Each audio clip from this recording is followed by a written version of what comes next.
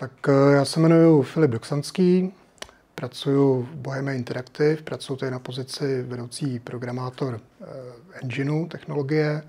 Ta technologie se jmenuje Enfusion, je to vlastně jako hlavní engine Bohemky, kterou máme v plánu eh, používat pro všechny další naše velké hry. Počínaje teď aktuálně vyvíjenou hrou Arma Forger moje počítačová herní a, a vývojářská historie je samozřejmě jako mnohem, mnohem delší a v samotné Bohemce pracuju v asi 22 let.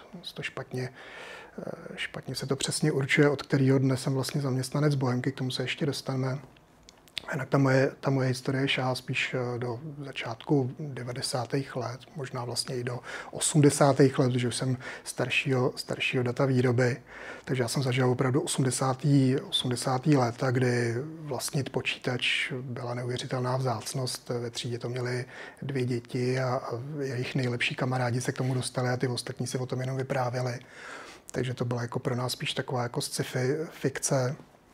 A jediný, jako kdy my jsme se dostali do fyzického kontaktu s hrama, tak bylo, když eh, dorazil autobus s herníma kabinetama, tam se za, za dvě koruny si člověk mohl jako chvíli zahrát, tak tam poprvé jsem si mohl šáhnout eh, fyzicky, fyzicky na nějaký eh, hry a něco si, něco si zahrát. To bylo jako moc, moc pěkný období a na něj, já na něj docela jako s láskou vzpomínám.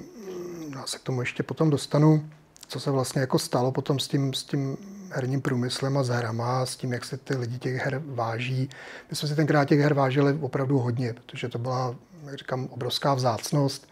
Eh, doma to člověk neměl, když si to chtěl zahrát, tak to stálo pro nás eh, spoustu peněz a bylo to na eh, pár minut. Člověk se musel opravdu snažit tu hru udržet co, co nejdíl, a, protože to bylo takhle jako drahý, jak jsme se u toho ještě jako střídali a jeden chodil a druhý střílel, aby jsme si za ty peníze užili, užili co nejvíc. To byl takový můj první eh, kontakt eh, s hrama, já jsem se do toho úplně zamiloval a hrozně jsem samozřejmě toužil eh, mít nějaký svůj vlastní počítač. V té době to bylo ekonomicky úplně naprosto nepřijatelný. Rodiče si to nemohli dovolit. Pak jednou teda jsem měl štěstí, oni jeli na, na návštěvu za příbuzným do Belgie. A potom teď mi přivezli Segu Master System. To byl ještě 8-bitový stroj. Graficky to bylo samozřejmě i na a srovnatelný úrovně, jako, jako byly ty herní kabinety v tom, v tom autobusu. Takže jsem to najednou měl jako konečně doma, ale ty hry byly samozřejmě strašně drahé. Ty vyšly třeba jako 800 eh, při tehdejších platech v 80. letech to byla strašná spousta peněz, takže jsme k tomu měli dohromady asi tři hry. No ale ty jsme měli samozřejmě úplně dokonale zmástrovaný, že jo, jsme to hráli pořád dokola. A samozřejmě jsme si toho hrozně vážili, protože jsme si nemohli vůbec dovolit si koupit nějakou další hru. Za celou tu dobu, co jsem měl tu Segu, tak jsem měl jenom ty tři hry, nikdy jsem si nemohl dovolit koupit žádnou další. Já jsem měl vždycky hrozně jako vztah eh, jako futuristickým tématům a četl jsem sci-fi a ty počítače pro mě byly takovou jako branou do té budoucnosti proti tomu eh, okolnímu světu takže jsem eh, tomu chtěl jako rozumět, co se tam jako děje, jak se ty hry jako vyvíjejí. Chtěl, chtěl jsem to mít, chtěl jsem být vyloženě ten, kdo ty hry eh, dělá, takže ta moje láska jako k počítačům dál, dál kvetla. A já jsem si konečně v 89. po revoluci, když se otevřely hranice, tak jsem si koupil svůj první počítač. Byl to Commodore 64, který jsem koupil spíš náhodou. Já jsem chtěl Atari protože jsem ho viděl u nějakého svého kamaráda, hrozně se mi líbil. Osmistovka, opět se do toho zamiloval, i design se mi líbil. No a tam měli jenom Commodore, který se mi dokonce ani jako fyzicky moc nelíbil, ale prostě jiný počítač nebyl, že jo. To je tenkrát tam vtrhli Češi jako kobylky a všechno skoupili, takže jako to byl jediný, jediný počítač, který jsem, který jsem sehnal. A ještě byl bez kazeťáku, já jsem si to přinesl domů a co jsem si nenaprogramoval, to jsem ani neměl ani jsem neměl vlastně žádný přístup k žádným eh, informacím, neznal jsem nikoho jiného, kdo by měl komodora, nebyl jsem v žádném komodor klubu, takže jsem všechno dělal tak jako sám. Já jsem k tomu manuál v Němčině, německy jsem neuměl. takže jsem z toho opisoval nějaký kusy kódu v Basicu a postupně jsem z toho chápal, teda jako, jak se ty věci dělají. A pomalu jsem se učil programovat, pak jsem teda, bohužel, vlastně to byla možná škoda, jsem sehnal k tomu ten kazeťák a sehnal jsem k tomu samozřejmě hry. A hrál jsem, a hrál jsem dva roky, jsem strávil hraním. Programováním jsem tam taky, ale ty hry prostě jako vítězily. A tam jsem si všiml takový jako trochu jako negativního vlivu. Proti tomu začátku, kdy ty hry mi byly hrozně jako vzácný, tak tam najednou těch her jsem měl jako stovky. nic mě to nestálo. V, když jsem chtěl nějaký další, tak tenkrát se to prodávalo samozřejmě všechno na černo, někde přes anonci inzertní, inzertní noviny a, a někdo nahrál za stovku, za dvě stovky nahrál kazetu a tam bylo 100 her, že jo. A prostě jsem to měl najednou všechno k dispozici. Už si to člověk tolik nevážil a když nějaká hra mu hned jako nesedla, tak ji odhodil a šel hrát nějakou jako jinou. Už, už tomu prostě tolik toho času a toho úsilí jako nevěnoval. Což je možná nakonec dobře, protože tím jsem eh, ty hry dost brzo vlastně pak opustil a začal jsem se věnovat víc eh, programování. Pochopil jsem, že Basic eh, úplně nebude to pravý ořechový, v tom žádnou pořádnou hru neudělám. Tak jsem zkoumal teda, jak z toho počítače vydolovat nějaký výkon. Ty 8 bity jako toho výkonu moc jako na rozdávání neměly. No a zjistil jsem, v čem se to jako programuje. Se to programuje v nějakým strojovém kódu což eh, najednou jsem se jako s programátorským uměním propadl o několik levelů dolů, že tam všechno trvalo strašně dlouho, než to člověk jako napsal. Teď k tomu nebyly ty správné vývojářské prostředky, nebyly k tomu moc informace, takže jako vůbec není nějaký informace, jak nějaký věci jako na programa to eh, nebyla jako sranda.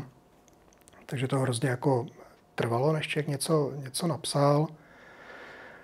No a ty výsledky nebyly úplně takový, jak jsem si jako představoval. Já už jsem tam viděl tu bránu do budoucnosti, jak tam pomalu dělá, budu dělat virtuální světy, ale na tom 8 bitu se to moc jako udělat eh, nedalo.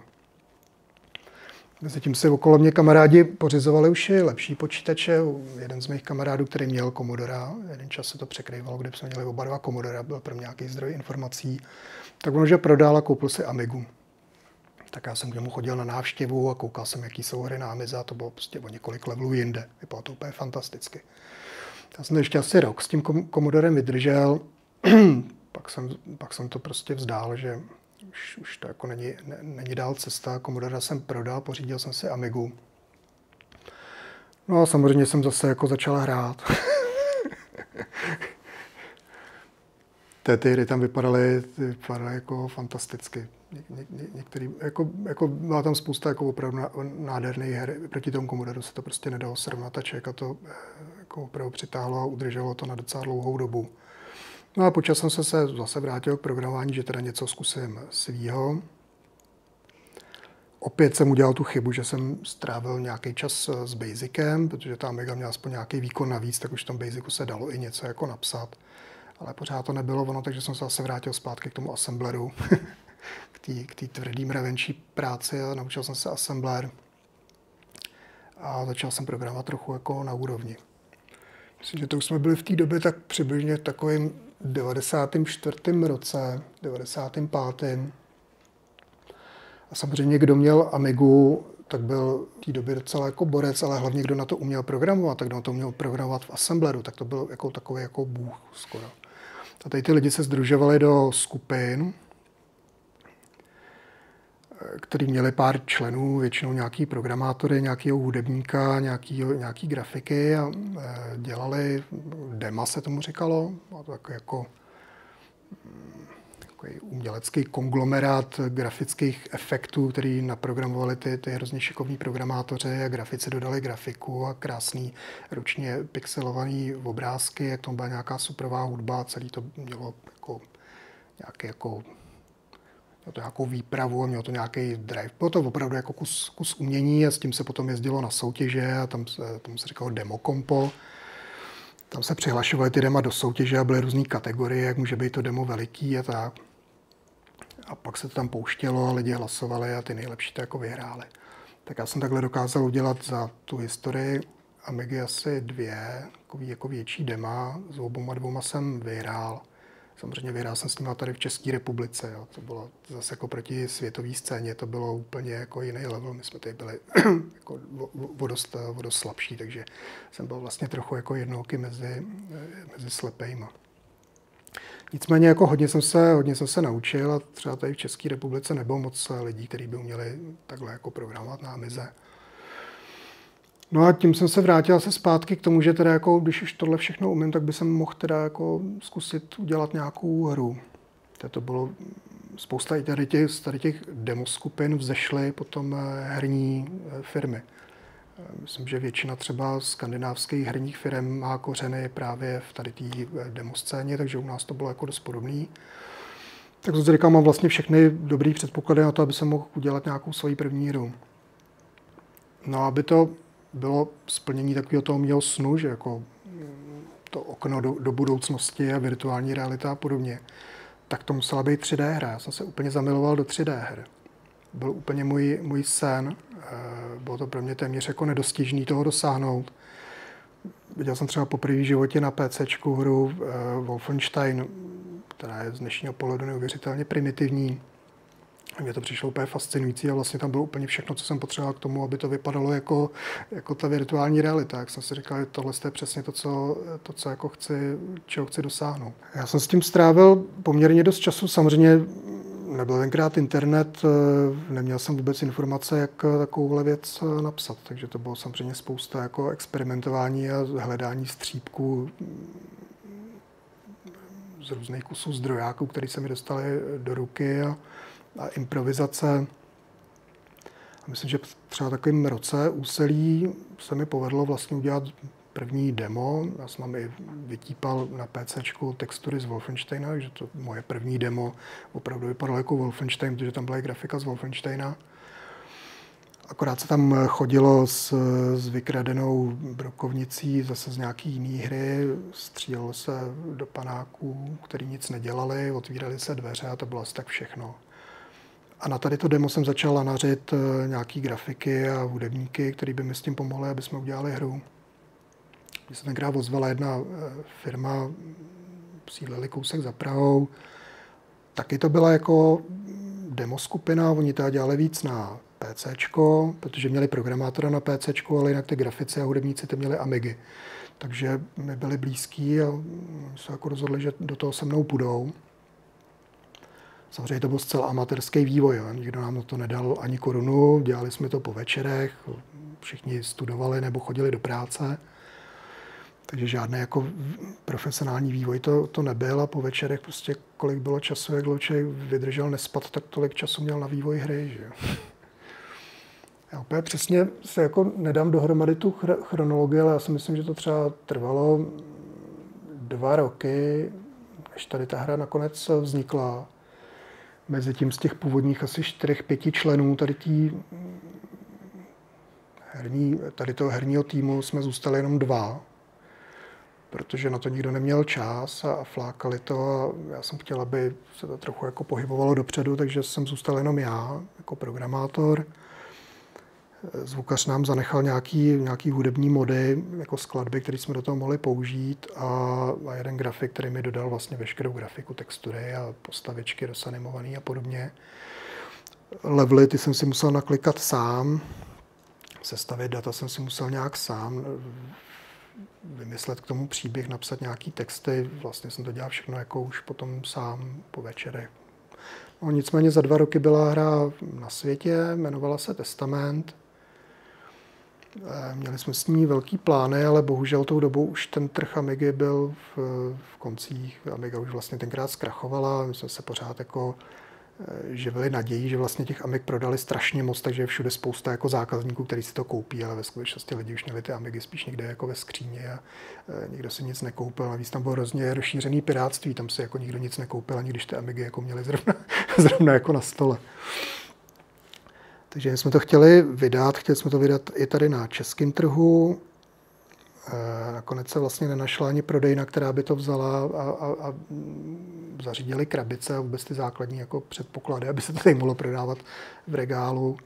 Eh, takže to dost rychle skončilo. Pak jsme chvíli měli jako naději, že vlastně ještě po krachu Commodoru nějaký čas existovala konzole Amiga CD32, to byla s CDčkem, a že to byla asi jeden, dva roky byla docela úspěšná, docela se prodávala, tak jsme si říkali, že to jako na to přeportujeme a, a třeba uděláme nějaký jako štěstí s tou CD32. Eh, mně se to povedlo, eh, stálo to poměrně dost úsilí, neměli jsme k tomu žádné informace, měli jsme k tomu devkit, eh, měli jsme jednu CD32, jednu vypalovačku, čistý médium tenkrát stálo asi pět stovek, jedno, což byla naprosto neuvěřitelná palba. A teď já jsem ani neměl přesné informace, co na tom CD musí být, aby to na té konzoli nabutovalo. Takže já jsem dělal nějaký první pokus, všechno jsem tam dal, všechny ty boot sekvence, všechny ty konfiguráky, všechno tam bylo, dali jsme, vypálili jsme to, že 500 váhy, dali jsme to do té mechaniky a ono to nic neudělalo, že A tímhle tím stylem jsme postupně spálili těch CDček, možná deset, jako než jsem konečně dosáhnul toho, že ta věc jako nabutovala a, a fungovalo to. No ale mezi tím se zase posunul čas, eh, ten, ten ústup té Amigy byl strašně rychlý a vlastně už to nebylo komu nabídnout, takže CD32 verze skončila někde v regále šuplíku. Ani nevím, co s ním pak bylo. Ten náš vydavatel tady český to prodal nějakému německému Amiga klubu a nějakému anglickému vydavateli a vůbec nevím, jak to pak dál s tou hrou dopadlo. My jsme z toho pak nic, žádný peníze nedostali, za tady to jsme dostali ty dva lidi, co na tom dělali a ten kamarád, tak jsme dostali asi po 15, možná 17 tisících, abych nekřivdil. a, a tím to jako skončilo. To byla moje první hra. Rozhodně se nedá říct, že by to byl profesionální vývoj, byl to teda jako vrchol amatérismus. Tím, že zatím bylo jako poměrně dost úsilí, ale nepřineslo to skoro žádný jako finance, tak jsem se rozhodl, že z toho ještě teda jako trochu něco jako vydojím. A ten engine jsem eh, trochu jako zinovoval protože byla vlastně jako sranda, když jsem ho napsal poprvé, tak on byl postavený na úplně jiných algoritmech než eh, původní Wolfenstein. Byl... Nebylo to úplně jako špatný, ale mělo to nějaké své limity, kvůli kterým jsem si nemohl dovolit eh, větší dohlednost a když se tam toho objevilo víc v tom záběru, tak šlo FPS hrozně rychle dolů. Teď jsem to musel uspůsobovat levely. No a mezi tím, jak už začal být trochu jako dostupný internet, tak já jsem se dostal k těm informacím, jak ten Wolfenstein byl napsaný. Tak jsem podle toho jenom tak cvičně jsem si ten engine jako přepsal. On navenek vypadal téměř jako stejně, ale běhal daleko líp a mohl jsem si daleko víc dovolit. Tak jsem vzal toho původního to, ten původní testament a znova jsem ho předělal na novém engineu a začal jsem to prodávat eh, na sebe, což samozřejmě ten český vydavatel nějak úplně jako s tím nesouhlasil, ale mě to už moc jako nezajímalo. Prodával jsem to jako, jako podloudně, prostě posílal jsem to poštou a někdo si proto přišel ke mně domů a někomu jsem to prodal v metru. Prodával jsem to po třech stovkách a trochu jsem se na tom zahojil. No a protože už jsem měl tady ten engine a vlastně měl jsem tomu nějaký nástroje, tak jsem ještě v rychlosti naklikal spoustu nových levelů, přidal jsem tam pár nových vlastností, nějaký přepínače, teleporty, trochu jsem přebarvil grafiku, dostal jsem pár nových textur, udělal jsem testament dvojku a prodával jsem ho úplně stejným způsobem a tím jsem na tom ještě jako něco málo eh, vydělal. Takže nakonec to nebylo úplně marný. No. Něco jsem se u toho eh, naučil, co jsme vydělali a nějak jsem trochu podpořil svoji lásku k hernímu vývoji. Ty jsi ten engine na tu dvojku vlastně udělal snad během toho, když jsi byl nemocný a snad během 14 dnů nebo něco takového. To, to mě třeba přijde zajímavé, že vlastně tehdy jsi udělal engine za 14 dnů, když si ležel někde v horečkách a dneska se enginy prostě dělají roky a roky a musí to dělat. To bylo prostě daný tím, že ty ty věci byly tenkrát hrozně jako jednoduchý. No. Ty, ten hardware vlastně neměl moc velký výkon, všechno to bylo dělané takovým dost eh, podfukem a ty algoritmy byly dost jednoduché, oni museli být jednoduchý, to je nic komplexně, aby jako rychlejš nejelo, takže když jsem si pak přečet, jak vlastně fungoval Wolfenstein, že to je nějaký jako raycasting, takže tolik, kolik má člověk sloupečku pixelu na obrazovce, jak tolik pošle paprsků, až natrejsuje nějakou zeď a ví vzdálenost a ví přesně pozici na té textuře, on tam skopíruje ten vyskylovaný proužek textury, jak je to vlastně hrozně jednoduché, jak jsem se praštil do čela, že, tak, že jsem takový idiot, že jsem na to nepřišel sám. Takže pak už to bylo vlastně hrozně jako jednoduchý a všechny ty ostatní věci mi tam vlastně zůstaly z, to, z, toho, z toho původního testamentu. No, jako kreslení v objektu, to jsem měl udělaný dobře, podlahu, kterou testament, eh, teda, kterou Wolfenstein ani neuměl jako renderovat otexturovanou, tak to, jsem, to já jsem uměl například.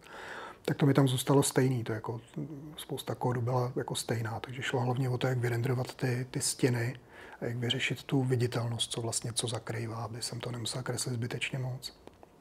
Takže to už pak šlo hrozně rychle. No. Obecně, no, když samozřejmě člověk jako nabírá, nabírá ty zkušenosti, tak uh, si může dovolit daleko více, hlavně ty triviálnější věci už jdou potom strašně rychle a jdou úplně sami, no, než když se na všechno musí přijít sám. Hmm.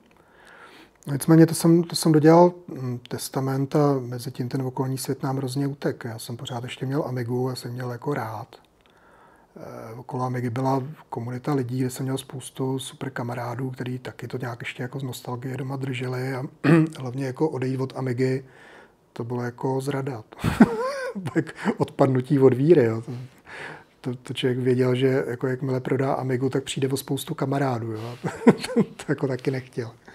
Takže to člověka, člověka drželo nejenom, nejenom tím, že samozřejmě bylo škoda odejít od něčeho, na čem umím víc než všichni ostatní, kde jsem byl za nějakého jako eh, Kinga. A navíc, že bych přišel jako spoustu jako kamarádů, že to nějakým způsobem, taky jsem měl navíc Amize hrozně nainvestováno, já jsem byl fakt blázen, já jsem, většina lidí měla doma třeba pětistovku a dvanáctistovku, to bylo 12 stovka, už byl počítač za 20 tisíc, ale já jsem měl doma Amigu 4 tisícovku, která stála 80 a v tom jsem měl eh, PowerPC kartu, která stála dalších 30 a v tom jsem měl ještě grafickou kartu, která stála 20, jo. takže jako jsem, já jsem v tom měl hrozný ranec peněz a samozřejmě by mi to za to tenkrát nikdo jako nedal. Nicméně jsem samozřejmě na této hardwareu jsem si mohl něco jako dovolit, ten okolní svět nám hodně utek na PC. Už mezi tím byl Doom jednička, dvojka, Dark Forces, myslím, že už byl dokonce i Unreal nebo, nebo Quake. Minimálně už byly jako nějaký dema nebo, nebo screenshoty, že bylo úplně jasný, že jsem jako strašně pozadu. A naštěstí já jsem měl ten jako dost výkonný hardware s tou, s tou PowerPC kartou, takže já jsem začal prototypovat eh, nový engine, který byl kompletně polygonový, stejně jako Quake který už mě nějak zvlášť jako nelimitoval. Já jsem vlastně opět jako v tom světě Amigy jsem dosáhnul něčeho, co nikdo jiný jako v, neměl v té době. To byl vlastně jako nejlepší engine vůbec, co kdy kdo udělal eh, na Amigu. Ale bylo úplně jasný, že to nemám ani komu jako nabídnout. Jo. Takže takový hardware, co jsem měl já, to mělo jako pár lidí a ty by si to hru stejně jako nekoupili. Navíc potom už eh, byl problém i sehnat eh, lidi, kteří by se mnou na tom dělali, protože si jako spíš klepali na čelo, jako proč by dělali hru, kterou jako nemají komu ani nabídnout, ani nemají komu ukázat, že? protože ani sami doma neměli takovýhle počítač. Takže jsem pochopil, že to už jako nikam eh, nevede, ale naštěstí ten, já protože jsem měl tu Amigu s dvou procesorů, že tam byl ten starý ciskový motorolácký procesor a měl jsem tam tu PowerPC kartu, tak už jsem si to psal hodně multiplatformně. Veškerý ten kód jsem měl napsaný jak v C, tak nějaký věci v Assembleru, který jsem chtěl, aby běžely rychle. A tím, že jsem měl ten C základ, tak eh, jsem byl schopný to poměrně dost rychle přeportovat na PC. Takže já jsem to začal portovat na PC a samozřejmě jsem potřeboval sehnat nějaký jako lidi, kteří by se mnou na nějaký hře dělali. Tak se mi povedlo oslovit eh, pár lidí, který jsem znal, nebo mi je někdo doporučil z té bývalé Amiga scény. A plus ještě některý lidi, kteří se mnou dělali na, na testamentu, třeba který pak i odešli, nebo ten jeden kluk, který jsem mnou dělal až do konce. Tak jsem tady ty lidi oslovil a už je to jako zajímalo víc, že vlastně už je to na PC, že to má trochu jako nějaký smysl. E, tak jsem sehnal nějakou grafiku a začal jsem, začal jsem dělat na engineu a zatím bezcílně. Zatím to nemělo nějaký jako směr, neměli jsme žádný plán, ani jsme nevěděli, jestli to bude strategie nebo jestli to bude střílečka. Postupně se to nějakým způsobem vyvíjelo, vypadalo to nakonec, že z toho bude asi jako střílečka. No. Pojmenovali jsme to eh, Enforce, bylo to poměrně ambiciozní, měla to být taková střílečka, něco jako kombinovaný s detektivkou, kde ten hlavní hrdina měl být agent, který dostával nějaké jako zakázky bylo to hrozně komplexní, ale myslím, že bychom to nikdy jako nedokázali dodělat. Myslím, že nikdy nevznikl ani jeden nějaký celý jako level. Měli jsme nějaký jedno demo, který ukazovalo vlastně, co ten, co ten engine umí a to bylo všechno. No a mezi tím se ten svět zase jako kousek posunul a já jsem měl vlastně z té Amigy ještě pořád softwarový, softwarový render, kde vlastně celý ten obraz pixel po pixelu skládal procesor, ale v té době už byly grafické karty, už se objevily Voodoočka, eh, nějaký NVIDIA, TNTčka už to bylo docela jako dostupný. To na začátku to měl taky jako sem tam někdo, většina her musela podporovat i softwarový render, protože ne každý tu kartu měl. Ale postupem času ty, ty, ty, ty, ty grafické karty začaly vítězit, tak já jsem znova ten engine inovoval, nahradil jsem vlastně ten původní softwarový render renderem přes, přes GPUčko takže to začalo vypadat jako každá jiná hra v té době na PC, už to začalo vypadat perspektivně, že bychom na to mohli začít dělat nějakou, eh, nějakou větší hru. Je problém, že jak eh, jakoby stoupá ta technologická úroveň té hry, tak eh, rostou ty produkční náklady. Dodat na to grafiku, ty 3D modely, už tam nestačí nějaký jako sprayty prostě namalovaný ze čtyřech stran.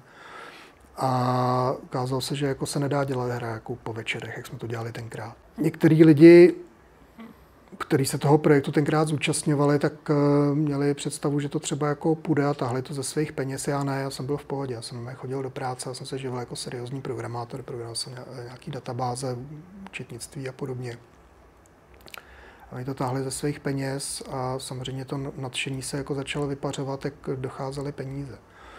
Tak jsme potom začali přemýšlet, jak jako to speněžit. To se jeden z těch lidí ujal, začal schánět investory a rozesílal to vydavatelským firmám a jiným herním studiím, jestli by o to nikdo neměl zájem. My jsme to vlastně moc k ukázce neměli, že byl to nějaký eh, jeden malinkatý level, kde chodil panák a otvírali se tam dveře a svítili tam světla a to bylo všechno. Vlastně jako nějakou ideu, co to bude jako za hru a nějaký design dokument, to jsme vůbec jako neměli, že jsme byli absolutní amatéři, že jo? nikdo o to neměl vůbec zájem. Chtěli jsme získat eh, peníze z, z venture kapitálu, kde se objevila spousta investorů, kteří začali kupovat tady ty malý ITácký jako startupy a spali do toho peníze. Ale to celý hrozně jako trvalo. To jako nevadilo. Jsem si doma vyvíjel svůj engine a vydělával jsem peníze někde jinde, ale ty ostatní na to jako spěchali. Takže nemohli už takhle dlouho čekat a povedlo se jim oslovit eh, tady tenkrát jednoho ze spolumajitelů Bohemky Slavomíra Pavlíčka, který měl v té době RCčko. A ukázali mu vlastně to, na čem děláme. Tenkrát už to mělo trochu vlastně nějaký obrysy, nějaký, nějaký hry. Ono se to postupně přetavilo, že to bude vlastně spíš jako adventura. že to bude akční adventura. Mělo to i nějaký pracovní název, možná to mělo i náznaky scénáře. A ukázali to tenkrát eh, Pavlíčkovi, mu se to nějak docela líbilo. Ono v té době tady moc velká konkurence v Čechách nebyla, nebylo tady moc lidí, kteří by dělali hry, kteří by byli schopni si udělat vlastní engine. Takže to nějakým způsobem eh, zaujalo a dal nám nějakou důvěru, teda, že, že z toho třeba něco bude. Normálně jsme dostali kanceláře, dali jsme nějaký rozpočet, měli jsme nějaký plán asi na jeden a půl roku. Mohli jsme najednou najmout lidi na plný úvazek, kteří dostávali vejplatu. Já jsem tenkrát odešel ze své práce. Dal jsem výpověď, nastoupil jsem tady samozřejmě za nějaký plat, který byl horší, než když jsem dělal seriózního jako business programátora, ale zase to bylo splnění trochu toho snu. To byl začátek, kdy jsem dělal bohem, pro Bohemku, byť to bylo pořád ještě v rámci nějaký ceřiný společnosti. To se, ta společnost se pojmenovala Black Element Software.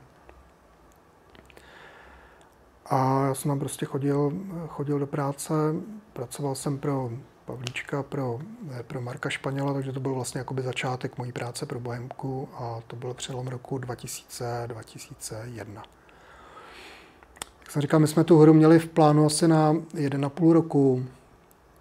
My jsme všechny přesvědčili, že jsme vlastně hrozně schopní a šikovní a že to uděláme všechno hrozně jako e, rychle a že máme úplně jasné, jak ta hra bude jako fungovat. Ale to se poměrně do záju ukázalo, že to tak jako není. Že? My jsme ty zkušenosti moc e, neměli a ten vývoj na to, jak šel na začátku jako hrozně rychle, jak se to pak hrozně jako zadrhlo.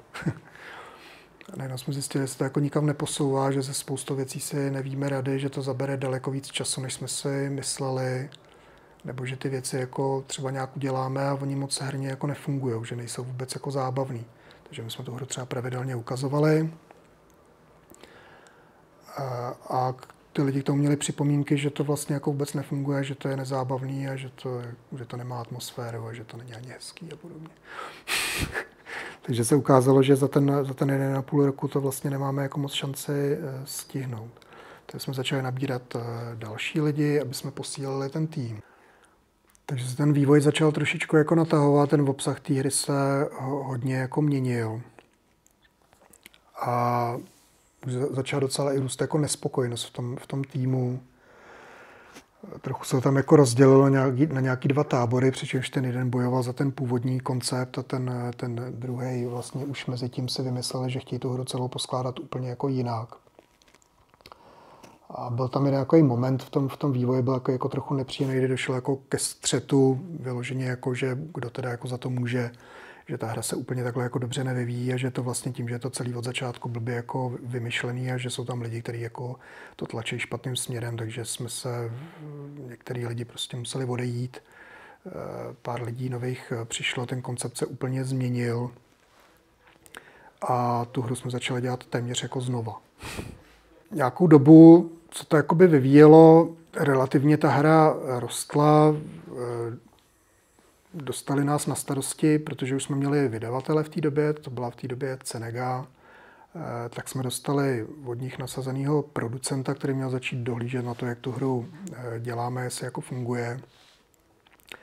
A ten byl tedy jako docela přísný. No. Ten, eh, ten, ten jako s náma moc v rukavičkách nejednal, takže ten, když se mu něco nelíbilo, tak to, tak to řekl poměrně dost natvrdo když jsme se na něčem dohodli, že něco v nějakém termínu dodáme a my jsme to nedodali, tak eh, naprosto jako nechápal, jako, jak jsme si to mohli jako dovolit. A nechal se tady vysvětlovat, jako, proč to tam tady jako není. Člověk pět minut něco vysvětloval, no ale jsme se dohodli, že to dneska bude. pak už jako zvyšoval hlas, jako docela na nás řval, jako byl docela jako dost ostrý. A bylo to jako poměrně dost, eh, dost nepříjemný v období ale ono to začalo fungovat. Eh, jak na ty lidi byl vyvedený eh, jako dost značný jako tlak, tak my jsme ho sice hrozně jako v tu chvíli nenáviděli, byli jsme vždycky hrozně jako naštvaní, že se po nás takhle vozí a že schazuje jako tu naší práci, ale u nás to jako pak nakoplo, že musíme dokázat, že to tak jako není. Takže jsme začali ty věci dodávat v poměrně dost jako brutálním tempu. Teď tím, že my jsme promarnili strašného času na tom vývoji, a dostali jsme nějaký deadline, kdy to jako prostě musí být hotový a měli jsme to poměrně dost ambiciozní, jsme museli jít jako strašným tempem. Na začátku týdne v pondělí se řeklo, co se přibližně jako udělá. Dva levely se vždycky vybrali a dva levely musely být do dalšího týdne do pondělka hotový. V pondělí byla vždycky schůzka s producentem a předvedli jsme mu teda, co jako máme, dostali to testeři a hráli to, jestli to celý jako funguje, jestli to stojí za to. Na tímhle s tím tempem eh, nás postupně dotlačil až eh, do finále. Bylo to úplně neuvěřitelné. On nám pak řekl, že vlastně jako měl záložní plán, který to natahoval ještě o další tři měsíce. Teď nikdo nevěřil tomu, že to stihneme a my jsme to stihli. On nás prostě k tomu jako takovýmhle brutálním způsobem dotlačil. Jenže my jsme tenkrát eh, jsme byli mladí, že jo, neměli jsme děti, někteří už teda měli doma ženu, ale jako prostě ty lidi jsou za mladá trochu jako tolerantnější, takže se jeli naprosto šílený přes časy, jeli se víkendy a pracovalo se přes noc, takže jako to tempo tam bylo opravdu jako, jako šílený. Dneska už by to nikdo takovým způsobem asi tu hru dělat nechtěl. Nicméně hru jsme, hru jsme dodělali, pro nás to byla obrovská úleva, byli jsme na ní poměrně jako hrdí, čekali jsme, jaký to bude obrovský úspěch. Ten úspěch se úplně jako nedostavil, respektive nedostavil se úplně jako hned. My jsme tu hru vydali s nějakýma fatálníma bugama, což bylo hrozně jako takovou nešťastnou souhrou okolností. A hlavně jsme ji vydali, že byla jako poměrně dost těžká. My jsme měli QA tým, který se skládal z dvou lidí, kteří nedělali nic jiného, než že hráli prostě furt pořád dokola každý den. A oni už to měli tak najetý, že byli schopni jako speedrunem tu hru odehrát za snad tři hodiny, že měli jako rekord. Jo. Přitom jsme měli herní dobu snad 70 hodin. A oni fakt to měli najetý, že to dokázali jako odehrát takhle. A vůbec jim to připadalo, že to hrozně jako lehký. Takže my jsme to upravovali jako na míru prostě těm, eh, tomu kváčku a, a my jsme to měli jaký docela jako najetý. Přišlo nám, že je to jako v pohodě, ale pro normální hráče to prostě jako úplně fatální. Mě hrozně baví, když jako dneska se k tomu některý jako lidi vracejí, třeba v Artefaktu to nedávno bylo, kdy se věnovali eh, Shadovi a říkali, že to bylo vlastně jako Dark Souls. No. To je úplně jako, to je hra s vražednou, jako, s vražednou obtížností. No a my jsme byli vlastně jako jim jako předskokanem. Takže ta hra dokázala jako neuvěřitelně jako odměňovat, když to měl člověk najetý a věděl, jako na kterého nepřítele použít jaký zbraně protože tam byl obrovský výběr zbraní a kouzel a, a technika, magie a jako na každýho platilo něco jiného a dalo se to fakt jako tou hrou proklouznout a když to člověk nevěděl, tak dostával strašně na prdel, ale jako hrozně. Takže ty lidi a ty recenzenti, kteří si to zahráli, tak nejenom, že viděli nejdřív ty příšerný bugy, než vyšel jako patch, který vyšel bohužel až po první vlně recenzí, no a navíc dostávali strašně na prdel, že jo. Takže eh, je pak víc zajímalo to, že vlastně na té hře bylo vidět, že je to prostě jako z českých lů a hájů, že tomu prostě kouká sláma z bod, že to nemá prostě tu technologickou úroveň jako jiný hry, které v té době vycházely. Takže jsme dostávali docela jako vejpras v těch, v těch recenzích, což nám bylo hrozně líto. Jsme jako, úplně jsme si jako nemysleli, že si to jako zasloužíme. No. Je fakt, že když jsme tu hru potom pofixovali a trochu se upravila obtížnost a vycházely potom jako další recenze, tak to poměrně dost jako chválili. Ta, ta hra byla jako oblíbená, každý, kdo eh, tomu jako přišel na chuť, tak říká, že se to hrozně jako užil. Ta hra byla hrozně příjemně hratelná. Právě tím, že když člověk našel tu taktiku, tak to bylo hodně jako easy. No. Měl takovou tu hodně oldschoolovou hratelnost. Takže jsme z toho byli trochu, trochu zklamaný. Já úplně nevím přesně, jak to nakonec dopadlo s tou hrou ekonomicky, jak se zaplatila, nezaplatila. On tenkrát taky ten vývoj her byl daleko levnější než dneska. Kdyby jsme dneska tolik let strávili s hrou tak, a potom jsme měli takový jako neúspěch, tak by to byl jako ekonomický totální jako průser. Tenkrát to asi tak hrozný nebylo. A ta hra se docela prodávala asi dlouho, nevím. Možná se nakonec zaplatilo, nevím. Každopádně jako trhák to nebyl. No samozřejmě trochu jako podepsal na té náladě v tom studiu. Pár lidí jako odešlo. Nějaký nový jsme zase nabrali. A tady mám ještě jenom poznámku pro hráče. To bylo hodně těžké. Hmm. Takže to je vlastně takový running team těch vašich her, ne? Že potom vlastně ta Alpha Prime taky byla jako hodně těžká. A jestli, jestli to nesouvisí i s tím, jak ty jsi říkal na začátku, že vlastně když měl první počítač, tak, nebo když měl tu Segu, tak z ní furt mastil tři hry, až si v nich byl úplně největší master, tak jestli to... Může to být, může to být trochu tím, no.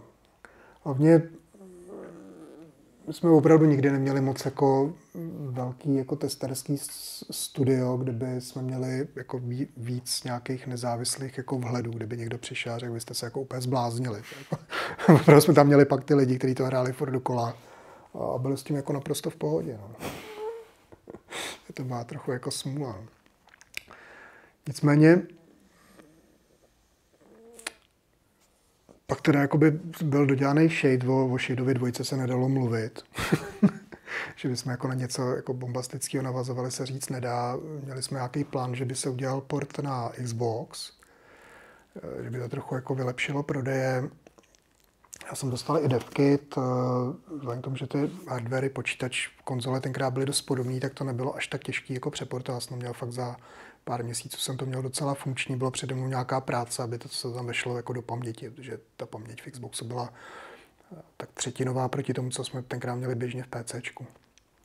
Ale Mezitím se prostě nějak usoudilo, že ten ekonomický dopad by nebyl až tak jako pozitivní, že by to za to nestálo. Takže, takže DevKit nám sice zůstal pro případ nějaký další hry, ale, ale v Shadeovi na Xbox se nepokračoval. Se teda rozhodli, že, že to zkusíme znova a lépe. Naštěstí nás teda jako nepotrestali tím, že by studio zrušili. Vzali nám teda ještě šanci, že, že co, co předvedeme jako teď. Shadowi třeba trochu místama kulhal design a, a příběh byl takový jako jednoduchý, kde do nám ho jako vyčítá, jak jsme se řekli, tentokrát to všechno uděláme jako správně, takže se najal eh, profík, který nám napíše příběh, což byl eh, pan Nev, eh, spisovatel. I k nám chodil a konzultoval tam ty, ty nápady a dal nějaký jako poměrně dost masivní základ toho, toho budoucího příběhu té naší hry. Hra měla být eh, z sci-fi, pravděpodobně protože pan Nev se věnuje hlavně eh, sci-fi. A taky protože já jsem chtěl, aby ta naše další hra už vypadala jako technologicky na stejný úrovni jako ostatní hry, aby se nám nikdo nesmál, že tomu kouká sláma z bod. Eh, té době vypadaly hry jako Doom 3. Já jsem chtěl, aby to vypadalo úplně stejně hezky, aby to bylo všechno plastický, aby tam byly normálové mapy, aby se to všechno krásně lesklo. No a to se nejlíp jako snoubí jako ze sci-fi žánrem. Takže to všechno tak hezky sedlo dohromady. Designéři pilovali příběh s panem Nefem, já jsem dělal na novém engineu. Začali jsme dělat nějaký technologický demo, který by to jako dokázalo jako prodat, jak to bude krásně ta hra vypadat. Hodně jsme si hráli s fyzikou, že by to prostředí mělo být hodně interaktivní všechno se mělo hejbat, všechno se mělo dát rozbít na kusy. Eh, navíc to demo, který jsem začal dělat na novém engineu, tak eh, protože jsem měl k dispozici ten Xbox Dev Kit, tak jsem to rovnou dělal na Xboxu. A opravdu jsme udělali první technologický demo, který vypadalo jako fantasticky. Vypadalo to minimálně tak dobře jako Doom 3. Bylo tam fyziky jak v Half-Lifeu a celý to bylo jako, byla tam spousta takových jako i vizuálních triků. Byly tam všude kamery, eh, které zobrazovaly scény z jiných kusů jako levelu a promítalo se to tam prostě na obrazovkách v té samé scéně a byly tam interaktivní displeje, jako byly v Doomově tradice. Vypadalo to opravdu jako nádherně a celý to běželo naprosto plynule na tom Xboxu, takže to vypadalo velmi poutavě. Takže jsme dostali znova šanci, že teda jako zelená můžete dělat další hru. bohužel nás pustilo do, dost, dost podobná jako krize vývoje jako s tím, s tím shadem, že ten začátek jako šel hrozně jako rychle a pak jsme měli takový období, že jsme se plácali jako v kruhu. Ta hra se nějak moc jako nevyvíjela. Lidi, kteří se k tomu sedli, tak řekli, že to vlastně jako nebaví. Eh, my jsme tam nechtěli střílet eh, do lidí, chtěli jsme střílet do robotu, protože v žádné jiné hře to nebylo. Jenomže se ukázalo, že pro ty lidi to není moc uspokojící pocit střílet jako do, do robotu, takže to jako ne, ne, ne, nepřinášelo ten očekávaný jako zážitek, takže jsme tam museli přidat lidi. Několikrát se to hodně, hodně předělávalo, opět jsme to naplánovali příliš ambiciozní, ale ukázalo se už, že ta produkce jako té grafiky a těch levelů je už jako náročnější a že jako trochu nestíháme. Spousta lidí z toho byla docela frustrovaná, bylo to na tom eh, jako vidět, že některý lidi už to dělali trochu jako z povinnosti, bylo tam jenom pár lidí, kteří to jako fakt táhli dopředu a ty ostatní už tak jenom jako, že skoro jako z nutnosti no, to dodělávali. Takže to na té hře se to hodně jako podepsalo, že už tomu trochu jako chyběla duše, kterou si myslím, že my jsme jí dali do Shadea. To technologicky úplně neexcelovalo, ale ta hra prostě měla duši a u toho, u toho Alpha Prime to bylo úplně přesně obráceně technologicky to bylo jako super a kdyby si dal na tom někdo jako záležet, eh, aby ta hra měla nějakou jako, prostě aby měla duši, no. Tak, eh, tak by to byl skvělý produkt, ale to už se tam prostě do toho konce jako nepovedlo. No. Vydali jsme to, tentokrát jsme tam neměli žádný jako fatální bugy, které by to sundali. Mm, technologicky to vypadalo poměrně eh, zdařilé. A ty lidi si toho všimli, že třeba příběh nám trochu skritizovali, protože už se taky ke konci sešel horkou jehlou. Ta hra byla relativně dost repetitivní, rozsahem byla daleko jako menší. Cutscény, které podle mě byly jako super, lidi je špatně pochopili, připadalo jim, že jsou amatérský, přitom tam bylo spousta jako postav, eh, který jako mluvili jako dementi schválně, protože to byl Ital, který mluvil anglicky a mluvil fakt jako komicky a oni si mysleli, že jsme to, že jsme to udělali blbě, že je to jako amatérsky nadabovaný, že spousta, spousta věcí tam ani nebyla jako dobře pochopený. Takže jsme jako myslím, že v těch recenzích jsme to schytali daleko méně teda než jako u Shada. Myslím, že ta hra byla přijatá daleko líp. Vydali jsme na to potom i nějaký jako peče, který to vylepšili. Opět jsme museli zmírnit obtížnost, aby to bylo hratelné pro normální lidi a nemusel se tam nic jako naprosto fatálně opravovat. Udělali jsme tam nějaký jako adony k tomu, nějaký, nějaký zajímavosti se tam přidali. A ta hra byla zajímavá v tom, že ona byla jako na tom velmi dobře s optimalizací. To se jako musím jako pochválit, že jako ta technologie byla postavená fakt jako dobře. A ono to vypadalo jako superově a přitom to běželo na úplně podřadném hardwareu, ale opravdu jako na úplném šitu. A ta hra se hrozně dlouho prodávala, bylo to úplně jako nepochopitelný. A byla na Steamu. A v době, kdy už jako v ostatní hry se neprodávala jako vůbec po takhle dlouhé době, tak tady furt tak jako kapalo, pořád. Protože pravděpodobně v Americe, kde se lidi kupují počítače někde v supermarketu vedle rohlíku a je tam jenom nějaká onboardová grafika jako v kancelářském počítači, a nezahrajou se na tom ty lidi skoro nic, tak tady ta hra na tom vypadala výborně a běhala na tom úplně jako suprově. Takže jako pořád se to prodávalo a ty lidi to tam jako psali vyloženě v těch komentářích, že to nechápu, jak ta hra vypadá jako hrozně dobře. Na čem jim to běží, jak se to dobře hraje. Takže myslím, že jako ekonomicky to bylo daleko jako lepší než, než Shade, ale opět to nebyla žádná jako velká díra do světa. Myslím, že to byla jako, jako poslední kapka pro to naše studio a už jsme jako další šance jako nedostali, že si budeme dělat nějaký náš vlastní projekt. A většina těch lidí byla odvolaná na různou práci jako v Bohemce. Takže třeba grafici a designéři byli odvolaní na armu a dělali modely a nějaký mise do army. Přičemž jenom některý z nich to bavilo teda. Takže některý, některý u toho zůstali a jsou, do, jsou v Bohemce do dneška a spousta z nich eh, to prostě po nějaký době zabalila a odešli původního Black Elementu tím pádem eh, zůstalo jenom programátorské oddělení, což byly všeho všude tři lidi, včetně mě, což jako nebylo mnoho. Neměli jsme moc jako ani základ, že by se mohli říct, že teď bude Black Element dělat nějakou další třetí hru a ta bude jako konečně jako super.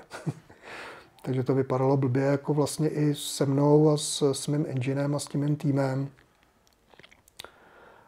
My jsme byli tak nějak částečně jako vlastně odvolaný z tady té práce, dostali jsme nějakou práci v Bohemce, dělali jsme na tůlech a vypomáhali jsme nějakou práci na, na engineu army, dělali jsme nějaké optimalizace.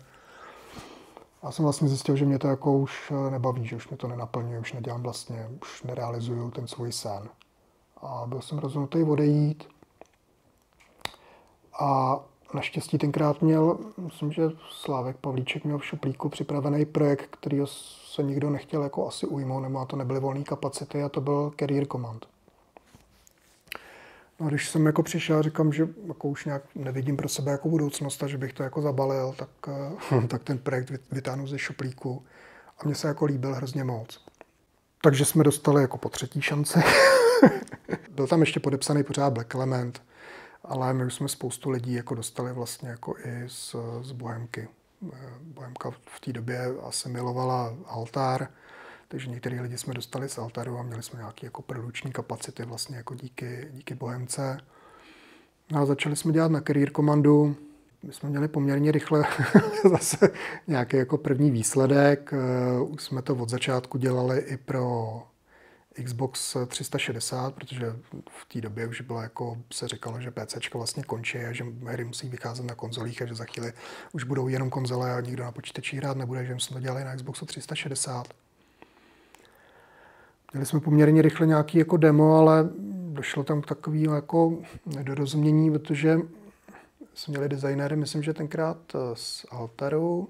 Oni to chtěli pojmout trochu jako po svým, udělali to víc jako strategii, přičemž ten career command měl být víc jako real-timeovka. Jak se to jako moc jako nelíbilo, že to máme vlastně jako předělat, takže zase prostě potom jako prvním jako nášupu, kdy jsme jako rychle něco měli, tak potom nastalo jako hrozný období stagnace, kdy se to jako plácalo od nikud nikam. Já mám pocit, že že jsem byl jako prokletý, že všechny ty projekty, na kterých jsem takhle dělal, tak tohle prostě období jako postihlo. Strašně se to plácalo, dost lidí jako odešlo přišli jiný, ta hra se mnohokrát eh, předělávala. Myslím, že to byl jeden čas skoro zralý jako na, na, na zrušení. Tak jsme to měli hrozně jako málo, ta hra ani jako moc dobře nevypadala, ani moc dobře nefungovala. Eh, dostali jsme eh, nový designéry vlastně z Bohemky, který byli zrovna volný.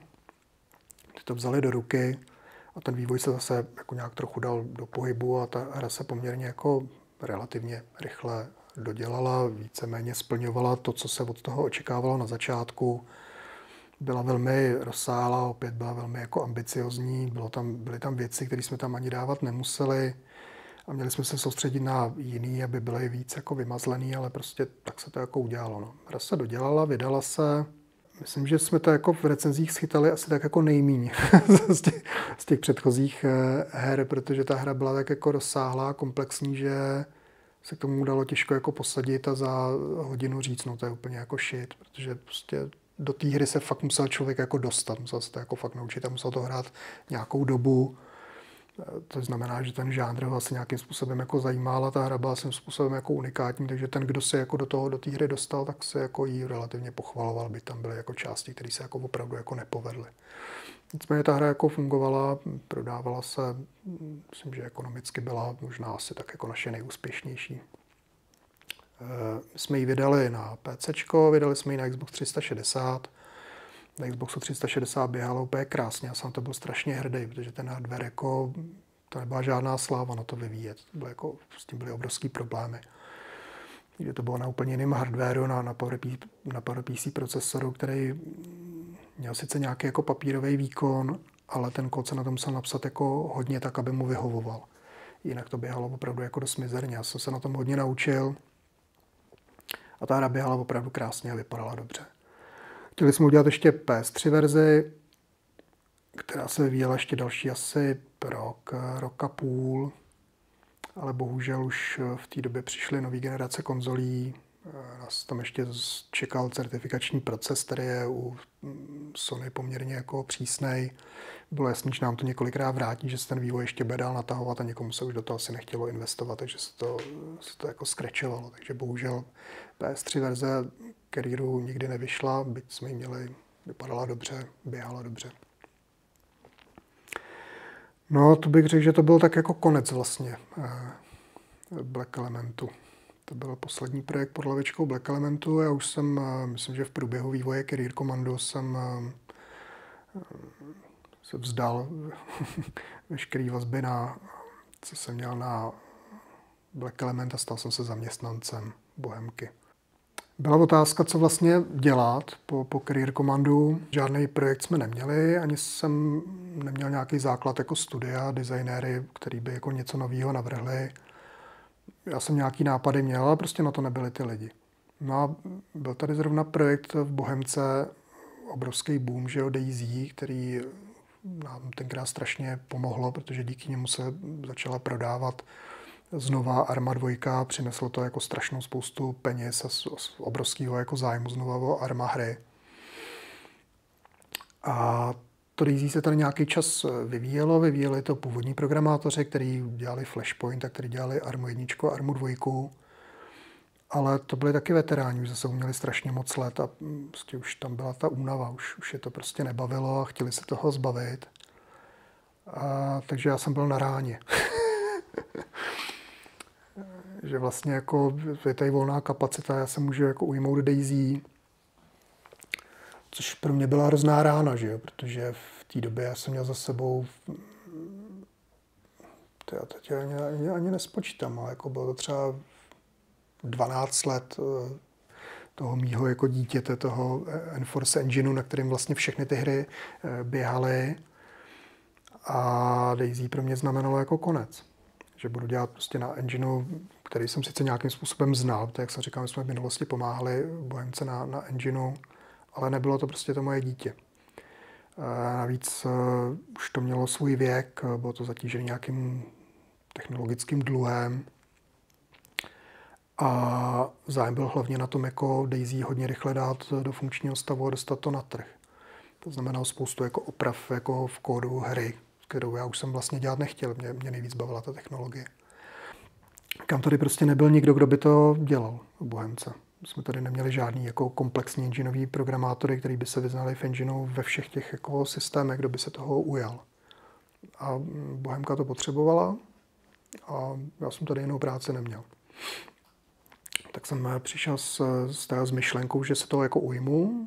Daisy, Daisy pomůžeme eh, dát do, do vydatelného stavu. A já jsem chtěl získat jako příležitost, že ten engine teda inovuju.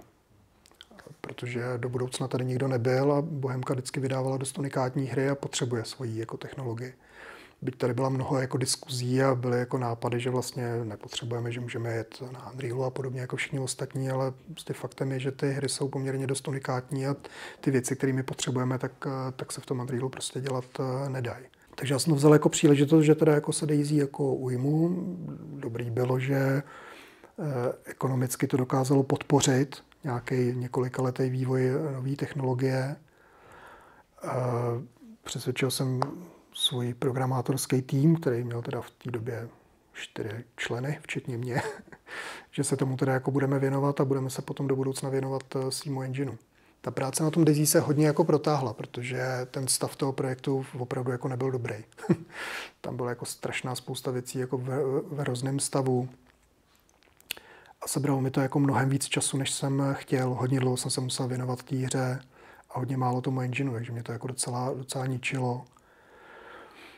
Povedlo se mi sehnat eh, další lidi, nějaký programátory, kteří se postupně do Daisy zapojili a já jsem ten projekt postupně eh, opustil s tím, že budu supportovat jenom eh, low level vlastně toho engineu a mezi tím paralelně se budeme snažit ten engine jako inovovat a, a dělat teda ten můj budoucí sen. Bylo dobrý, že v té době už Daisy se prodala asi 3 miliony kusů, takže se dalo říct, že jakoby na to máme prostředky, aby jsme si to mohli dovolit to je vlastně jako začátek takového toho mýho teď konce, nechci říct konce eh, té poslední fáze eh, v Bohemce, kdy jsem strávil opravdu jako mnoho let eh, vyvíjením engineu, protože ten technologický dluh v Daisy a v tom, v tom jeho engineu byl obrovský, ale on byl obrovský vlastně i v tom Enforceu, v tom, v tom mým engineu. Takže my jsme nejdřív Daisy vlastně inovovali, že jsme vzali ty části, které fungovaly nejhůř, třeba render, animační systém, skriptování a podobně. A ty jsme postupně nahradili těma částma eh, Enforce Engineu a s tím eh, se Daisy vlastně potom vydalo. A když se Daisy vydalo a my jsme se od něj mohli odpoutat a začali jsme mazat ten, ten Daisy kód, tak vlastně z toho původního nezbylo skoro nic. Vlastně my jsme to postupně celý přepsali.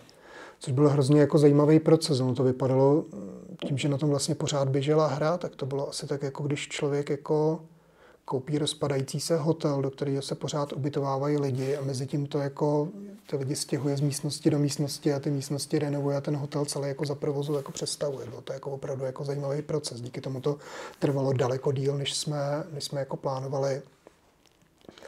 Ale a bylo to opravdu jako, byla, to neuvěřitelná challenge, protože jsme měli nějaké jako představy o tom, co ten engine má umět, ale když tomu chodili ty veteráni jako z army a, a říkali ty svoje požadavky, na co jsou vlastně jako oni z army zvyklí, na co je zvyklá komunita, jak se tam dá všechno jako modovat, všechno se dá upravovat, každá věc se dá překryt nějakou svojí vlastní funkčností, tak jsem musel jako uznat, že ani to, co my jsme měli jako napsaný v a o čem jsem byl přesvědčený, že jako dobrý, tak prostě nebylo dost dobrý. A já jsem se na začátku snažil jako licitovat, že tady ty věci třeba jako nepotřebujeme, tak to uděláme jako jednodušejš. Ne, prostě postupně jsme dospěli k tomu, že to musí opravdu přesně tak, jak, jak ty lidi byli zvyklí a že to musíme zároveň posunout daleko dál. Což z kluby tady ty dvě věci bylo jako opravdu ne- neuvěřitelně náročné. Jako stálo to opravdu hodně času. Ale myslím, že se to nakonec eh, povedlo. My jsme se hrozně těšili, až se to dostane ven, až to dostane do ruky komunita, která byla vždycky u army hrozně jako činorodá. Dokázali si poradit s věcmi, které v armáhrách vůbec nebyly nebo nefungovaly dobře, no, tak oni si to udělali po svém. Já jsem byl hrozně zvědavý, jestli se nám to jako povede to samý. Vlastně musí se nám povést minimálně to samé a musí to být eh, ještě, ještě lepší, než to bylo dřív což se ve finále povedlo, ale k tomu vedla vlastně cesta myslím, skoro čtyři roky vývoje. Nejtěžší bylo vlastně, že když jsme ten, ten engine, jako, když jsme se oddělili od Daisy, tak my jsme ho hrozně dlouho dělali mm, téměř bez jakýkoliv supportu. My jsme neměli k ruce žádný grafiky, žádný designéry, nic, takže jsme měli nějaký prastarý data z jiných jako her a na tom jsme něco zkoušeli aby jsme vůbec něco viděli, aby jsme na tom mohli něco jako ladit. Ale nevznikal na tom žádný skutečný projekt. Až teda, když se nám povedlo udělat nějaký první jako dema engineu, něco na tom běželo, povedlo se nám tam přeportovat třeba nějaký eh, levely z, z Army, konkrétně Tanou, to bylo myslím, že z Apexu, eh, z Adonu pro Armu 3, tak jsme všechny přesvědčili, že jako máme už opravdu něco, co funguje, co nějak vypadá, Eh, nějak to běhá, nějak to hezky jako vypadá a že teda stojí za to na tom začít něco, něco produkovat. Tenkrát se vlastně teda prohlásil, že se bude dělat eh, nová arma, bude se dělat v nějakém menším scaleu, protože vlastně začínáme psát eh, hru na zelený louce, nemůžeme hned říct, že budeme dělat novou, celou novou armu, čtyři od podlahy a udělal se teda menší projekt v menším scaleu, což je Arma Reforger. Dostali jsme k dispozici takovou produkční kapacitu, který se mi nikdy předtím jako nesnilo. Tolik, tolik lidí, kolik jsme měli najednou na grafiku a na, eh, na prostředí a, a na animace, to, to, to jsem jako nikdy předtím jako nezažil. Samozřejmě to pro nás znamenalo jako obrovský tlak, protože předtím, člověk dělal eh, se třema grafikama, tak eh, ty požadavky chodily v nějaký jako kadenci, která byla jako, se to dalo jako ustát. najednou, když, když to dostane do ruky jako 50 eh, lidí a každý den bombardují tím, co jako nefunguje a, a co, co, co, tam jako chybí a co potřebuje jako udělat jinak, tak to je opravdu jako mazec. Říkám, strávili jsme s tím, s tím skoro skoro čtyři roky vznikl z toho teda Arma Reforger, ten se minulý rok eh, vydal. Eh, jsme se na to hrozně těšili, protože jsme na ten produkt byli poměrně dost ready, hlavně na to, jak to vypadá, jak to běhá. A hlavně jsme byli zvědaví, jak na to bude reagovat komunita.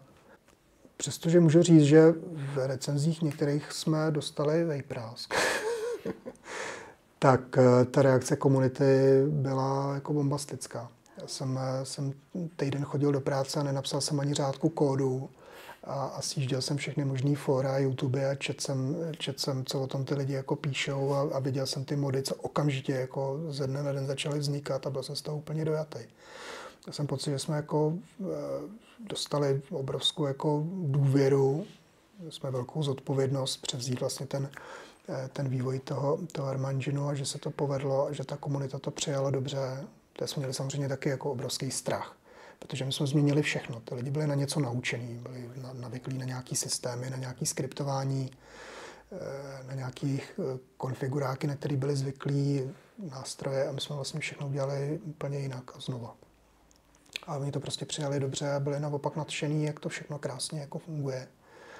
A byť třeba recenze nebo skóre spokojenosti nás týmu u Reforgeru tak jako plavé, byť stoupá s každým updatem, naštěstí se to jako daří zlepšovat, tak u nástrojů je od začátku do teďka jako poměrně dost vysoký, že ty lidi jsou z toho opravdu nadšení.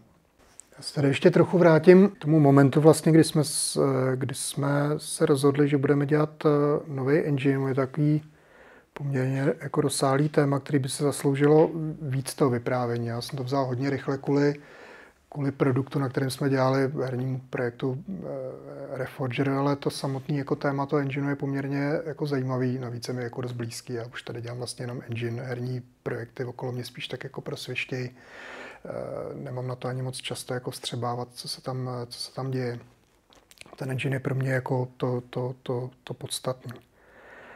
A vlastně ten moment, kdy jsme se tady rozhodli, že, že pro další Arma hry už, už nemáme dneska dostatečně konkurenceschopnou eh, technologii, tak tady vnitřně ve firmě začala probíhat spousta jako diskuzí, jestli vůbec je jako ještě je dneska taková jako doba na to, aby jsme se vyvíjeli svůj vlastní engine. To je spousta herních studií, které měli dřív své enginy, tak už je dávno opustili a podle velikosti jejich projektů se vrhli na nějakou existující eh, technologii, obvykle na Unity nebo Unreal, ani nevím, jestli asi už dneska nic moc většího není, ještě kraj, ale to už, to už dneska je spíš na ústupu.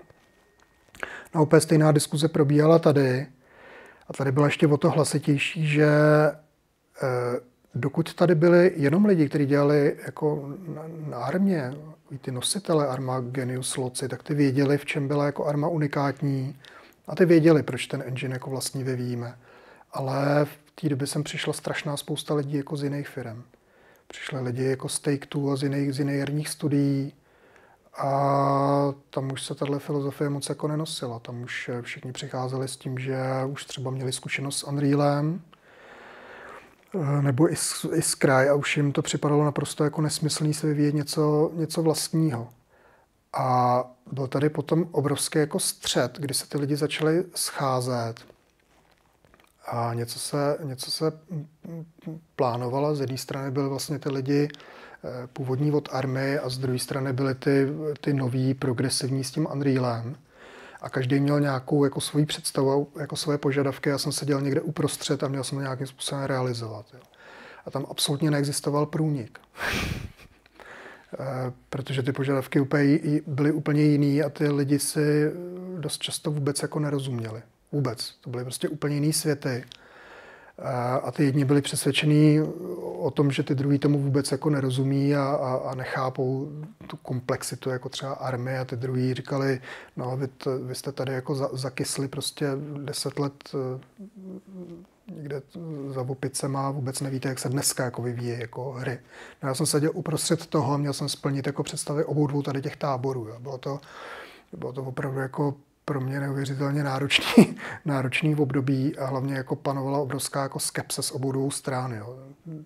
Ty lidi od army vlastně jako nechtěli eh, dostat něco, na co nejsou zvyklí, neměli k tomu ani důvěru, že vlastně tam dokážeme dostat všechno to, co tam patří.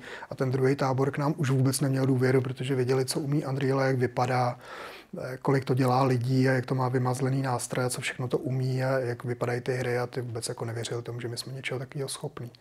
Takže my jsme tady jako moc velkou jako mentální podporu teda jako neměli, musím říct z toho vzniklo i takový jako dost uh, hluchý období, kdy, kdy se nás jako ty lidi dost přestali jako všímat, protože jsme tady jako nějaký čas vyvíjeli vlastně ten engine dost takým jako váku, neměli jsme ani žádný asety pořádný, na kterých jsme to jako, na kterých bychom to vyzkoušeli.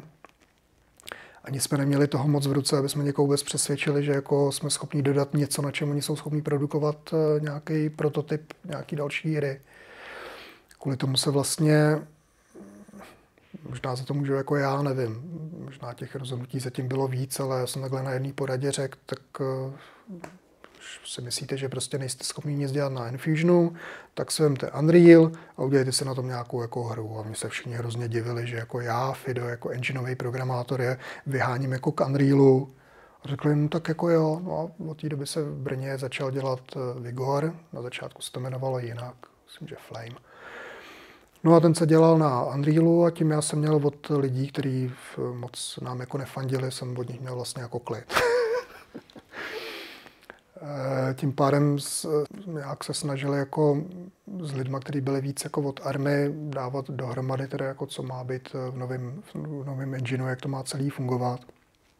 Já už jak jsem to zmínil, měl jsem představu nějakých jako úlev, že třeba jako co všechno šlo v armě modovat, takže bychom tam třeba jako nemuseli mít. A oni říkají, ne, ne, to tam všechno musí být, tam to musí jít naopak daleko jako víc. Eh, musí to být úplně stejně modovatelný jako Arma, ale zároveň to musí být ty nástroje jako v Unrealu, ale ono to jako nešlo moc dobře jako splnit. Jo. To třeba v zápětí zjistili v Brně na, na, na Vigoru, eh, že tam to modování jako moc eh, jako nefunguje. Sice se tam dá všechno hezky jako Eh, vizuálně naklikat, ale ani nejsou schopni zmeržovat dva lidi svoji práci, který dělají jako na tom samém. Jo? Nebo když někdo něco jako naprototypoval, tak někdo nebyl schopný nějakou část jako toho přetížit, aby to nějak celý jako fungovalo. Což bylo pro mě docela příjemné, protože já jsem měl o to víc argumentů, proč vlastně to takhle jako nejde dělat. My bychom jako sice Unreal použít mohli pravděpodobně, ale znamenalo by to nad tím napsat neuvěřitelnou spoustu infrastruktury úplně jako znova na míru army a tím se ten jakoby přínos dost, by se dost zmenšoval. Samozřejmě ty lidi jako z army v, v, na, k nám neměli úplně jako v důvěru, byli na něco zvyklí, chtěli si dál věci psát po svým, moc jsme si nerozuměli s programátorama, kteří měli psát ten, ten herní kód.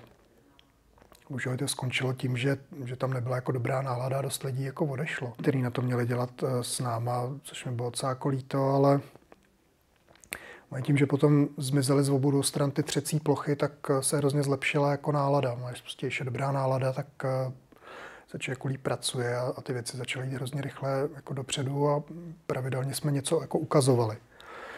Což nad tím se daleko líp diskutuje, když je něco ukazovat.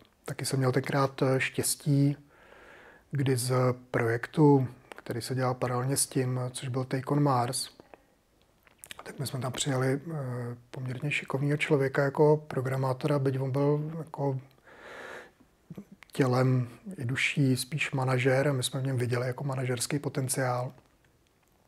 A měli jsme jako v záloze, že, že by nikdy měl dostat nějakou takovou jako úlohu. A Tejkon Mars byl pro ně jako poměrně dost malý. Tak dostal místo taky v našem týmu v Enfusionu a postupně, byť jsem si do té doby Enfusion vedl sám jako svůj vlastní projekt, tak on dostal pozici eh, projektového manažera a já jsem se mohl věnovat víc eh, programování. On se daleko víc eh, věnoval administrativní práci a hlavně se věnoval takovému tomu evangelizování ve firmě takže jako jezdil s tím enginem po pobočkách a pravidelně to ukazoval a, a ty lidi viděli ten progres a sbíral feedback a uh, myslím, že se to začalo trochu jako otáčet díky tomu, že se tomu někdo opravdu takhle začal jako věnovat, že to začal v té firmě vlastně jako prodávat. Mě to jako hrozně pomohlo, já jsem se tím najednou nemusel zaobírat. To vždycky stálo hrozně jako energie, byl jsem z toho v depresi, že, že ty lidi, že vlastně něco dělám, co ty lidi ani nechtějí. Takže se to postupně začalo měnit No a díky tomu se pak vlastně objevily nějaké produkční kapacity, jak v Brně, tak eh, na brněnské pobočce, tak eh, v Nížku, kde vlastně byl ten původní core eh, Arma tým a začal, začal vznikat nějaký content. A díky tomu vlastně začalo vznikat něco, co připomínalo mnohým Armu, ze vším všude, co, co na Armě bylo s veškerým tím modováním a s, s, s těma obrovskýma rozsáhlýma terénama, spoustou jako naprosto neuvěřitelných eh, požadavků, které jsou taky pro spoustu lidí jako úplně ne, nepředstavitelný. Já, já se tady vždycky úplně tomu směju.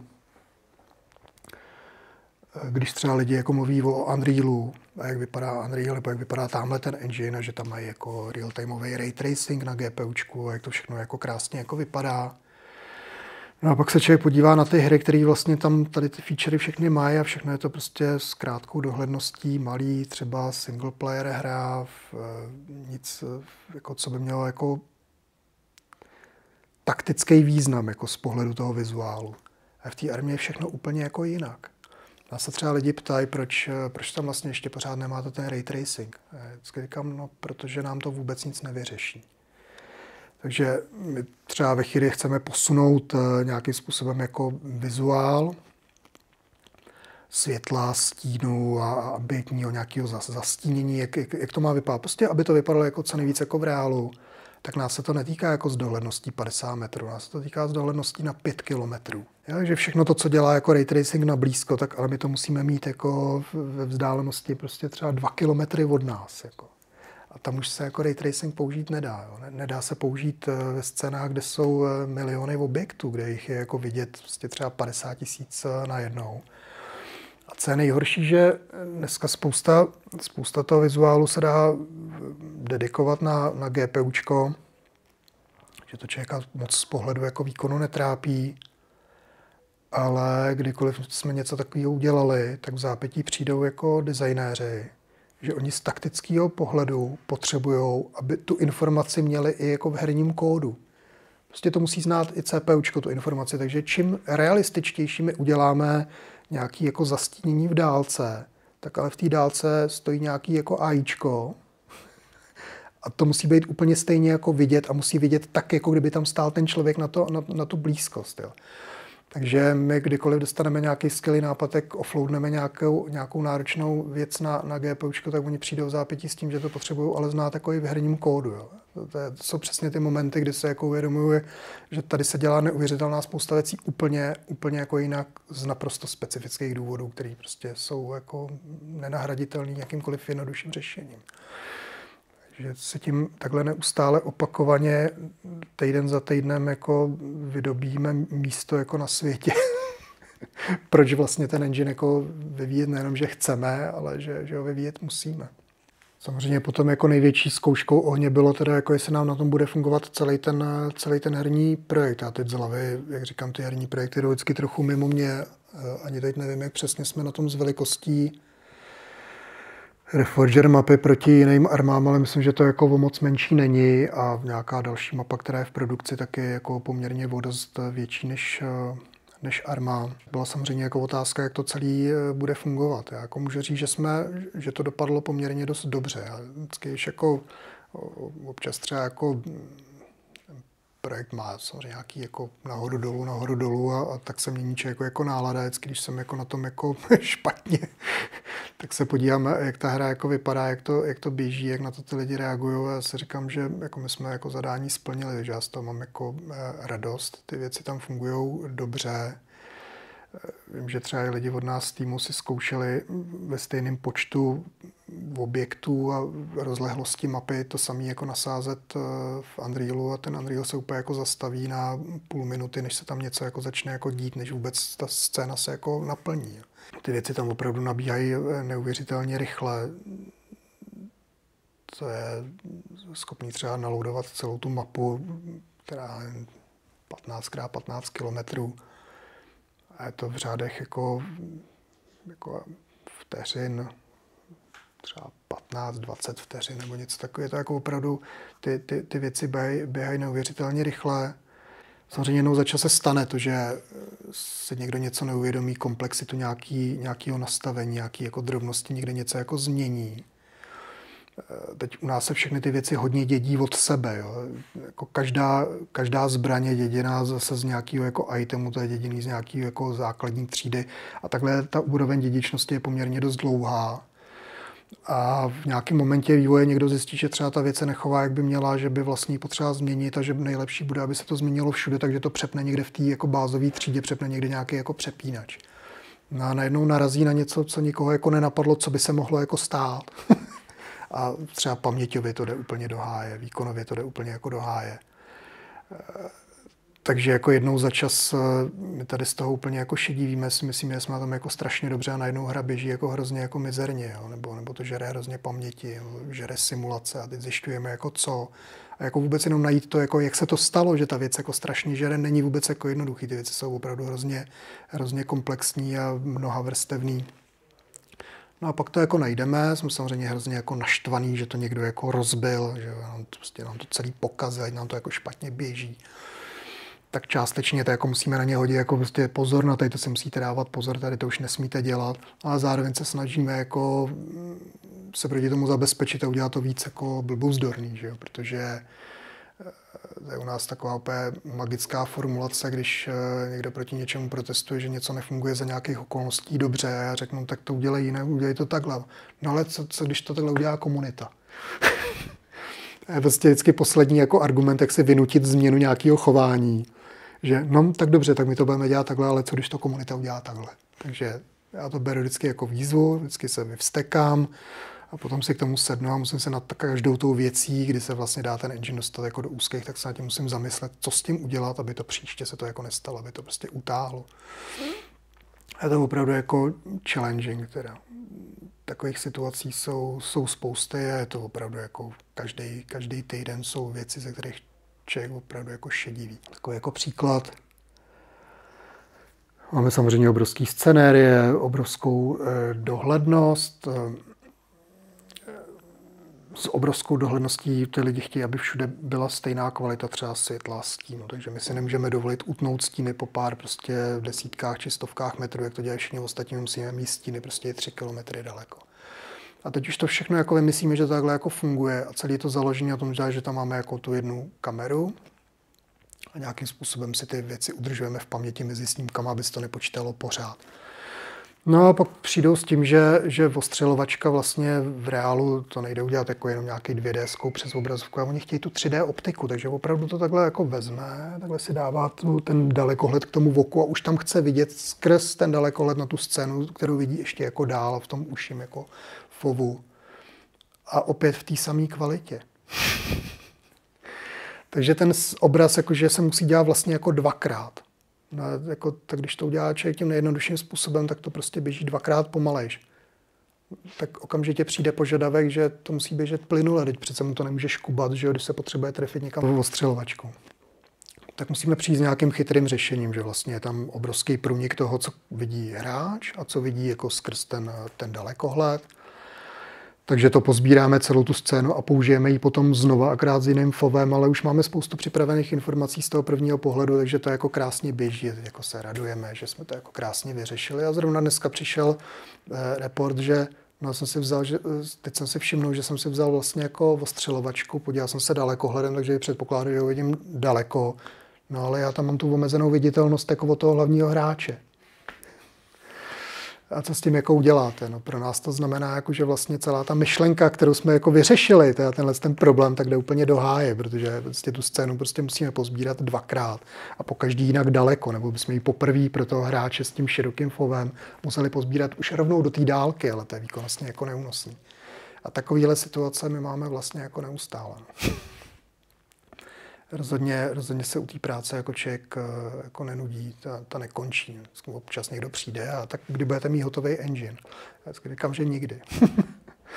Protože eh, za první ta samotná hra jako klade obrovský jako nároky, začnou se dělat nové věci, přidají se pásové vozidla, jak budeme animovat pásy, že jo? nebo eh, přijdou designéři s tím, že by chtěli systém, že se dá u benzínové pumpy tankovat palivo, ale oni se do toho ani nebudou pouštět, dokud se tam nebude vinout hadice.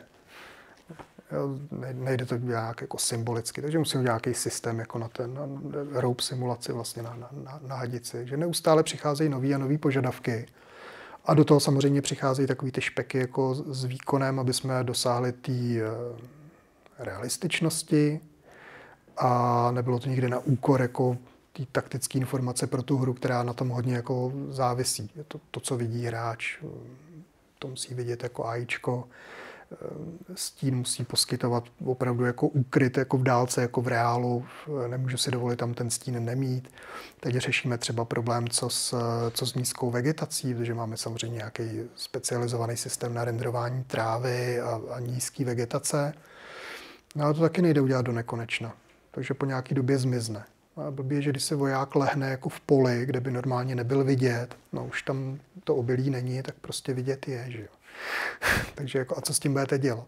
A takovéhle věci samozřejmě nikdo jako fan Reelu moc jako neřeší, ale my je tady řešit musíme. No. Takže říkám, ta práce nikdy, nikdy nebude hotová a asi se nikdy nestane, že bych jako během toho týdne jako ne, nepřišla nějaká, nějaký požadavek nebo nějaký problém, ze kterého jako pomalu šedivím a celý víkend přemýšlím teda, jak ten problém jako vyřešíme. Takže se to hodně změnilo od té doby, kdy se za 14 dnů v horečkách udělal celý engine. Je to dneska, je to dneska opravdu jako úplně jinak. Ty, ty věci už eh, nemůžou vznikat tak rychle. No. Na, na všechny věci se musí brát daleko víc eh, ohledu a nedají se hlavně nějak moc eh, zjednodušit, nedají se nějak očurat. Já už mám prostě pravidlo, že kdykoliv si někde někdo jako najde zkratku, tak mu to velmi rychle v zápěti vybouchne, vybouchne do obličeje. No. Díky tomu má člověk někdy pocit, že ten, že ten vývoj nejde dopředu tak rychle, někdy to může být až jako frustrující. Se člověk musí k věcem hodně, hodně vracet zpátky a, a dolaďovat věci, které na začátku někde právě očural. Prostě tak to je. No. Máme velmi specifickou práci a tohle je její součástí. Hmm. Tak jo. Tak uh, asi díky moc za rozhovor, za to, že jsi řekl uh, o své kariéře a o Enfusionu. Přišlo ti to dobrý? Jo, a budeme, budu, budu se těšit, věřím, že i diváci se budou těšit, co teda, jak bude vypadat Arma čtverka. to já taky.